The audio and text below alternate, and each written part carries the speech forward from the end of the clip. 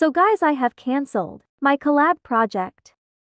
Sorry to make y'all disappointed. I will show the project at the end.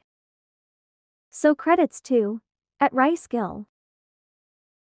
Sorry for not uploading few days. My mom took away my phone, though and I was upset for a few days.